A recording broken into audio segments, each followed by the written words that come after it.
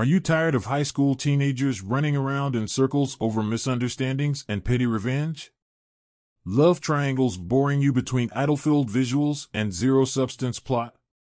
Well, then Maestra, Strings of Truth is for you. It has everything from betrayal to heartbreak and affairs and revenge. All led by the no-nonsense Cha Se-eum, who is a renowned conductor. But beneath it all, her facade starts to break as her past seems to be catching up to her. Maestra, Strings of Truth snuck in in the last half of 2023 and gave us an underdog to root for with its show-stopping cast, melancholic soundtracks including the classics such as Beethoven, Handel, and Don Giovanni, shocking reveals, and stressful love triangles. It also breaks the ageist mindset of the K-drama world by giving us older, experienced actors in the lead who embody their roles to the fullest.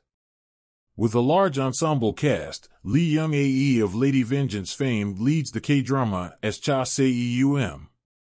Alongside her, Lee Moo-saeng, who recently caught everyone's eye as the psychopath in The Glory, is the manic ex, Yoo Jong-jae with Kim Young-jae as Kim Phil, Se-eum's mysterious husband. Based on the 2019 French show Philharmonia, Maestra, Strings of Truth Season 1 is a musical thriller that starts out as a melodrama. But as the story unfolds, it goes from your usual makjang, Korean soaps, to a shocking whodunit. Cha Se-eum is a ruthless but extremely talented violinist turned conductor who is much sought after. She returns to South Korea after 20 years and takes over the Hangang Philharmonic much to its members' chagrin. But their revolt is not the only obstacle she faces as there are mysterious occurrences surrounding Hanphil, including Se-eum's husband and deranged ex making her life difficult. There is no beating around the bush in this K-drama. It gives us exposition, explains everyone's role in the larger scale of things, and gets right to the story. Season 1 is a bite-sized version of Penthouse or Sky Castle with career, jealousy, and love pulling the strings of the characters.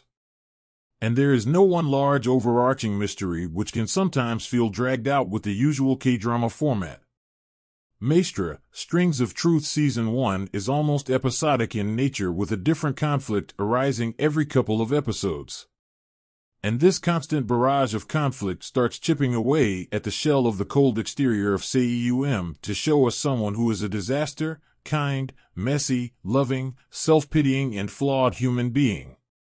But even then, the show predicts right when the audience is about to get bored and switches it up by dropping a murder mystery by connecting all the conflicts together. If there is one gripe with the story, then it is that there are too few secondary characters to keep the suspense alive. Once the investigation begins, we can more or less guess the main culprit.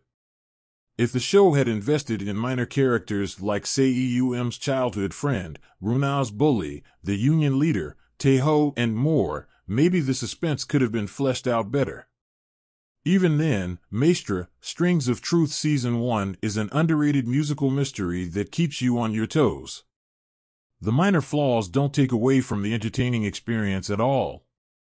It keeps the viewers engaged and is an intriguing mini drama that explores the thin line between loyalty and obsession that leaves one with a satisfying ending.